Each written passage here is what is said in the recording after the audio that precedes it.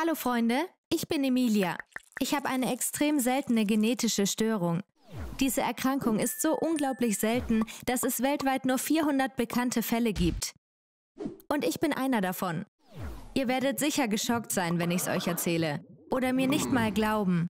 Ihr könnt diesen Kanal übrigens abonnieren, wenn ihr über neue Videos benachrichtigt werden wollt. Und wenn euch meine Geschichte gefällt, dann vergesst bitte nicht, es zu liken.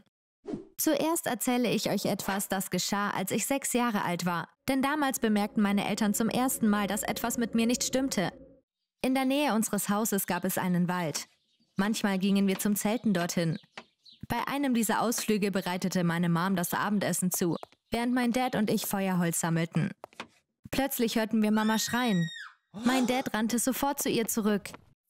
Eine riesige Schlange war auf den Tisch gekrochen und hatte es sich direkt neben unserem Essen bequem gemacht. Mein Dad sagte zu meiner Mom, Schatz, keine Panik, ich regel das. Er versuchte vergeblich, die Schlange mit seltsamen Geräuschen zu vertreiben. Ich hatte bemerkt, dass die Schlange neben dem Schokokuchen saß. Ohne nachzudenken ging ich zum Tisch, packte die Schlange hinter dem Kopf und schleuderte sie davon. Meine Eltern starrten mich ungläubig an.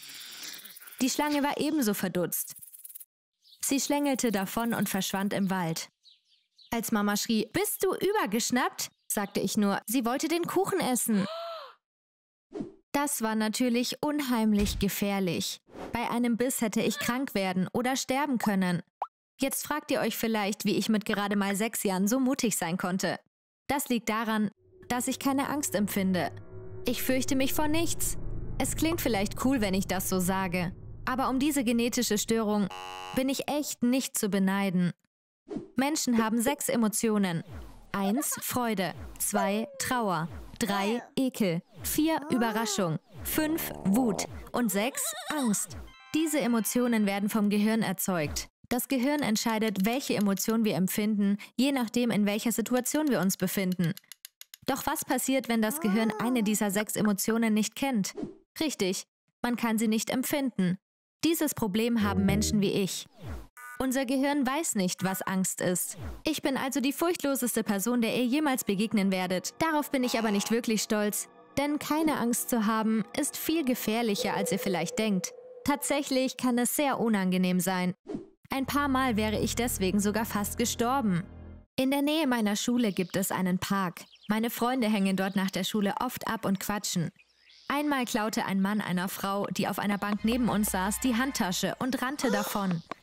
Als er vorbeirannte, stellte ich ihm ein Bein. Er stolperte und fiel auf sein Gesicht, und die Handtasche flog ihm aus der Hand. Sie war natürlich sehr froh darüber, was ich getan hatte. Sie dankte mir wieder und wieder. Doch was ich getan hatte, war viel zu gefährlich für jemanden in meinem Alter. Wenn der Mann ein Messer oder eine Pistole gehabt hätte, hätte er mich ernsthaft verletzen können. Das ist aber nur ein Beispiel für eine gefährliche Situation, in die mich meine gestörte Furchtlosigkeit bringen kann. Konnte ich daraufhin mein Verhalten ändern? Natürlich nicht. Da ich nicht weiß, was Angst ist, haben schlechte Erfahrungen wie diese leider keine Wirkung auf mich. Ganz egal, was ich erlebe, ich handle weiterhin ohne Angst. Jetzt denkt ihr vielleicht, okay, du empfindest keine Angst. Benutzt doch einfach deinen Verstand, schütz dich in so einer Situation, auch wenn du keine Angst empfindest. Aber das geht Leider auch nicht. Ich weiß, dass man, wenn man Angst hat, normalerweise Herzklopfen, einen kürzeren Atem und schwitzige Hände bekommt. Ich verstehe nicht, warum ich Angst haben sollte, weil nichts davon mit meinem Körper passiert. Ich bin nicht dumm. Mein IQ ist ganz normal. Mein Gedächtnis ist auch okay. Ich vergesse diese Situationen nicht. Aber wenn ich eine riesige Spinne sehe, packe ich sie trotzdem mit bloßen Händen, ohne darüber nachzudenken. Ich sehe keinen Grund zur Vorsicht, weil mein Gehirn mir nicht sagt, dass ich Angst haben sollte. Darum kann ich in aller Ruhe Dinge tun, die ihr vielleicht verrückt findet. Es gibt natürlich viele mutige Menschen. Doch diese Störung hat nichts damit zu tun, mutig zu sein. Es ist mehr als das. Wenn ihr zum Beispiel über die Straße wollt, vergewissert ihr euch zuerst, dass keine Autos kommen. Menschen mit meiner Störung tun sich sogar mit etwas so Simplen schwer. Ich trete meist auf die Straße, ohne nach links und rechts zu schauen. Noch verrückter, würdet ihr euch wilden Tieren nähern, obwohl ihr wisst, dass sie euch in Stücke reißen könnten? Menschen wie ich leider schon. In der siebten Klasse machten wir einmal einen Ausflug in den Zoo. Nach einer Weile kamen wir zum Tigergehege. Im Gehege waren zwei ausgewachsene und ein junger Tiger. Der kleine Tiger war natürlich super süß. Ich wollte ihn unbedingt streicheln. Uns trennte eine Mauer und ein Wassergraben von den Tigern. Ich dachte, ich könnte hinunterspringen, durch den Graben schwimmen und dann einfach den kleinen Tiger streicheln. Ich beschloss es zu probieren und begann über die Mauer zu klettern. Zum Glück sah mich die Lehrerin und packte mich noch bevor ich springen konnte. Emilia, was machst du? Bist du verrückt? schrie sie. Ich verstand natürlich nicht, was ich falsch gemacht hatte und versuchte mich zu erklären. Ich wollte nur den kleinen Tiger streicheln und wieder gehen. Nach diesem Vorfall brachten mich meine Eltern zu einem Therapeuten. Sie wussten, dass ich sehr mutig bin, aber das war dann doch etwas zu viel. Der Therapeut stellte mir viele Fragen über ähnliche Vorfälle aus meiner Vergangenheit.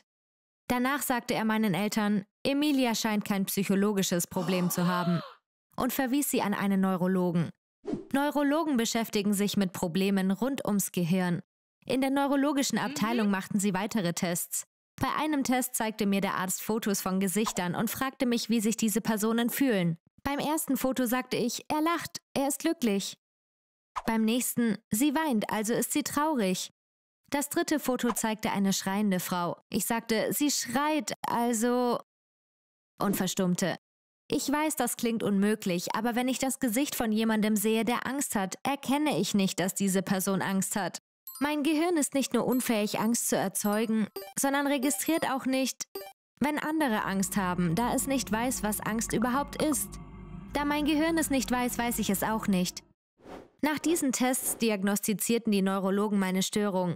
Kein Angstempfinden. Da dies eine seltene genetische Störung war, wurde ich zu einer medizinischen Fallstudie. Ab und zu besuchen mich Wissenschaftler und führen neue Tests durch. Diese Störung wird immer noch erforscht, da ihre Ursache noch nicht bekannt ist.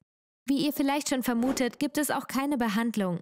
Ich werde für den Rest meines Lebens damit leben müssen. Hat diese Krankheit auch irgendwelche Vorteile? Zum Glück schon. Ich habe keine Ängste, die einem das Leben schwer machen. Ich hatte zum Beispiel nie Angst vor Prüfungen. Das hat sich immer positiv auf meine Noten ausgewirkt. Ich habe auch keine Angst vor Vorträgen. Weil ich so locker drauf bin, spreche ich meistens an den Elternabenden im Namen der Schüler. Ich habe auch keine Phobien, wie zum Beispiel Platzangst oder Angst vor Clowns. Und werde sie auch nie haben. Auch beim Fliegen schlafe ich immer wie ein Baby. Ganz egal, wie heftig die Turbulenzen auch sind. Ich habe nie Angst. Einmal flogen wir durch ein Gewitter und ich sah, wie ein Blitz in eins der Triebwerke einschlug. Ich lachte und erzählte es meiner Mom. Sie meinte, Emilia, du musst mir diese Dinge nicht sagen. Nicht alle sind so furchtlos wie du. Meine Freunde erzählten mir, dass Angst manchmal auch unterhaltsam sein kann. Das verpasse ich natürlich alles. Ich mag zum Beispiel keine Horrorfilme, weil sie mir keine Angst machen. Ich habe überhaupt keine Angst vor Geistern, Zombies oder Vampiren. Wissenschaftler, die meine Krankheit erforschen, setzten mir Elektroden auf den Kopf und zeigten mir Szenen aus den gruseligsten Filmen. Mit diesen Elektroden konnte man direkt sehen, was in meinem Gehirn passierte. Aus den Tests wurde deutlich, dass es keine Aktivität in dem Teil meines Gehirns gab, der für die Angst zuständig war. Das war zu erwarten. Aber jetzt war es wissenschaftlich dokumentiert. Etwas anderes, worauf viele total abfahren und ich nicht, ist Achterbahnfahren. Einmal fuhr ich mit, obwohl ich wusste, dass ich keine Angst haben würde. Meine Freunde schrien wie am Spieß. Aber ich langweilte mich nur und sah mich um. Jetzt kennt ihr meine ganze Geschichte. Angst bewahrt uns vor Gefahren. Deshalb ist sie überlebenswichtig. Aber würdet ihr trotz all dieser Nachteile mit mir tauschen wollen? Schreibt mir einen Kommentar. Danke, dass ihr mir zugehört habt. Es tat wirklich gut, euch all das zu erzählen. Tschüss. Hallo Freunde, ich bin Rita und das ist Jana. Wir gingen auf die gleiche Schule. Wir waren gute Freunde und verbrachten viel Zeit zusammen. Wir verabredeten uns nach der Schule oft bei mir oder ihr. Unsere Familien waren beide wohlhabend. Am Wochenende gingen wir shoppen und kauften einander Geschenke. Und wir machten gemeinsam Urlaub. Janas Familie ist immer noch reich. Aber leider ist mein Dad pleite gegangen. Er musste alles verkaufen, was wir hatten, um seine Schulden zu bezahlen. Wir hatten ein tolles Haus.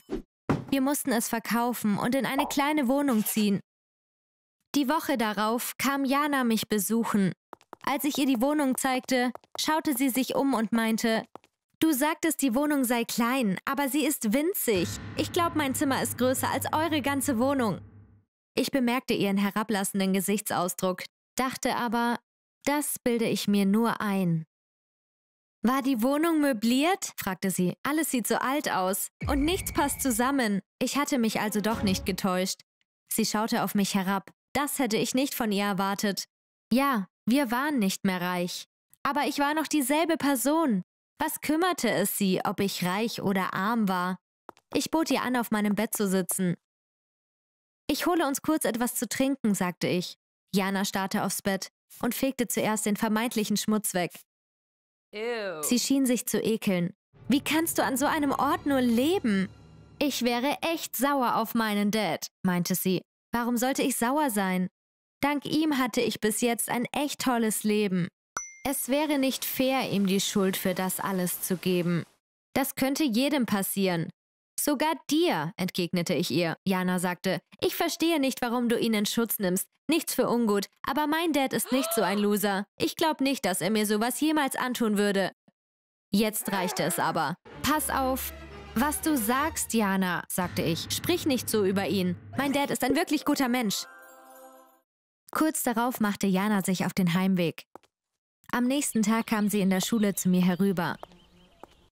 Sorry, Rita, sagte sie. Du bist meine beste Freundin. Ich habe diese Dinge gestern gesagt, weil du mir wichtig bist. Ich dachte, sie hätte ihren Fehler erkannt und vergab ihr. Doch bald merkte ich, dass ich falsch gelegen hatte, denn Jana enttäuschte mich wieder. Am Abend bereitete ich mit Mom das Essen zu. Mein Dad kam nach Hause. Er gab mir und Mom einen Kuss. Er hatte zu jener Zeit zwei Jobs.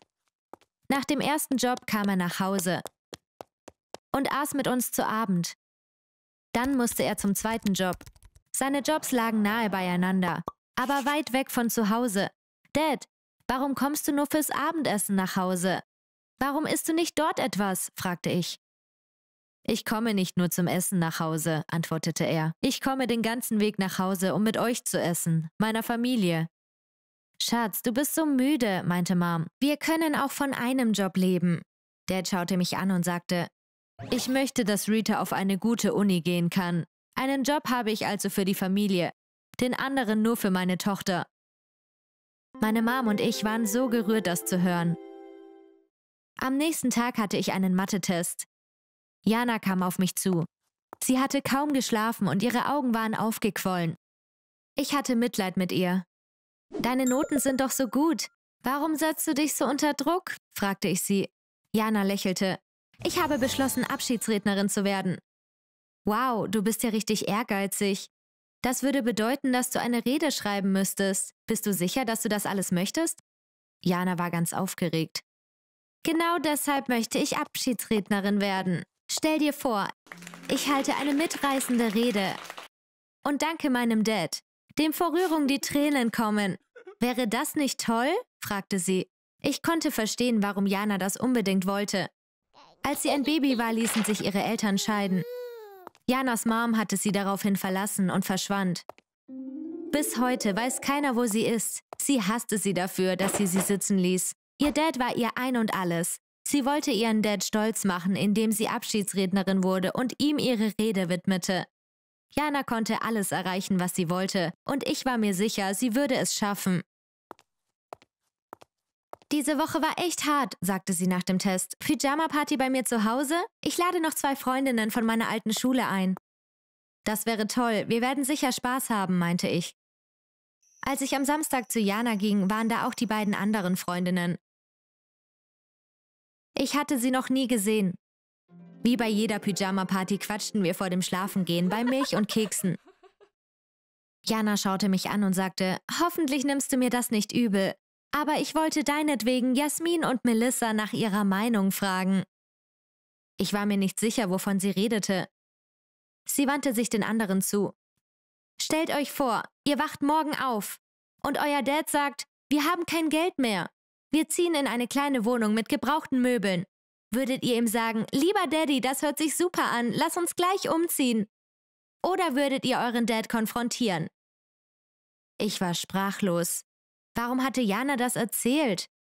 Warum sollte ich das mit jemandem besprechen, den ich nicht kannte? Bevor sie irgendetwas sagen konnten, meinte ich, Jana, das geht zu weit. Warum zum Teufel stört dich das so sehr? Weil du endlich einsehen musst, dass ich recht habe, antwortete sie. Ich bin traurig, dass du in Armut lebst. Dein Dad ist schuld daran. Aber du willst es nicht einsehen und nimmst ihn immer noch in Schutz. Ich sprang auf. Jana, kannst du mir bitte ein Taxi rufen? Ich will nach Hause, sagte ich. Klar kann ich das, aber kannst du das auch bezahlen? fragte sie herablassend. Also stand ich auf und ging. Das war das Ende unserer Freundschaft. Ich war zwar sehr traurig, konnte aber nichts tun. Sie war zu weit gegangen. Wir redeten nicht mehr miteinander. Wir hatten sowieso viel zu tun. Wir waren beide mit Lernen beschäftigt. Wie erwartet, schloss Jana als Abschiedsrednerin ab. Wir waren keine Freunde mehr, aber ich freute mich für sie. Und ich war auch unheimlich neugierig auf ihre Abschlussrede. Dann war unser Abschlusstag gekommen. Die Feier fand auf dem Fußballfeld statt. Wir Schüler standen auf der einen Seite in unseren Baretten und Talaren. Die Familien saßen separat von uns. Es gab eine Bühne und ein Podium. Zuerst sprach unser Direktor und dann einige Lehrer. Schließlich war es Zeit für die Abschiedsrede. Jana wurde aufgerufen. Sie schien abwesend, als sie ihren Preis entgegennahm. Sie schaute sich die ganze Zeit um. Sie sah gar nicht glücklich aus. Jana ging zum Podium, um ihre Rede zu halten. Sie trug die Rede vor, die sie vorbereitet hatte. Genau wie ich vermutet hatte, erwähnte sie ihren Vater bereits im ersten Satz. Sie sagte, sie liebte ihn so sehr und verdanke ihm all ihren Erfolg. Doch irgendwie fehlte ihr jegliche Leidenschaft. Scheinbar wollte sie möglichst schnell wieder vom Podium runter, Plötzlich hielt sie inne. Tränen strömten über ihr Gesicht. Als sie weiterredete, las sie nicht mehr von ihren Karten ab. Ich habe diese Rede vor Monaten geschrieben, aber ich möchte nicht weiterlesen, denn mein Dad, dem ich diese Rede gewidmet habe, ist nicht hier. Und wollt ihr wissen, warum? Er hat ein wichtiges Meeting. Ich habe ihm gesagt, dass das heute echt wichtig ist und er kommen müsse. Ich komme zu deinem Uni-Abschluss. Der Schulabschluss ist nicht so wichtig, meinte er. Ich ließ nicht locker, aber er sagte nur, so verdient man Geld. Ich muss zu diesem Meeting. Mach nicht so ein Theater. Ich werde dir dafür ein teures Abschlussgeschenk kaufen. Doch alles, was ich zum Abschluss will, ist mein Dad. Und das versteht er nicht. Eigentlich hat er das noch nie verstanden. Er dachte immer, dass mir seine Geschenke genug wären. Nachdem sie das gesagt hatte, stürmte Jana vom Podium. Wir waren geschockt. Ich konnte nicht anders und rannte ihr nach. Ich fand sie weinend unter einem Baum. Ich setzte mich neben sie. Sie sah auf. Als sie mich sah, umarmte sie mich und schluchzte noch mehr. Rita, ich war so eifersüchtig auf deine Beziehung mit deinem Dad. Deshalb wollte ich deinen Vater schlecht reden, weil ich so eifersüchtig darauf war, wie sehr er dich liebte und sich um seine Familie kümmerte. Ich bin ein schlechter Mensch. Ich habe versucht, eure tolle Beziehung zu zerstören. Ich war schockiert, das zu hören. Aber ich konnte sie verstehen. Jana hatte niemals die Liebe von ihren Eltern bekommen, die sie brauchte. Da war es normal, dass sie so eifersüchtig war. Wahrscheinlich würde es mir an ihrer Stelle genauso gehen. Ich umarmte sie. Ja, sie wollte mir schaden, aber es hatte nicht geklappt. Denn sie konnte nicht ahnen, wie stark das Band zwischen mir und meinem Dad ist. Und niemand kann diese Beziehung zerstören.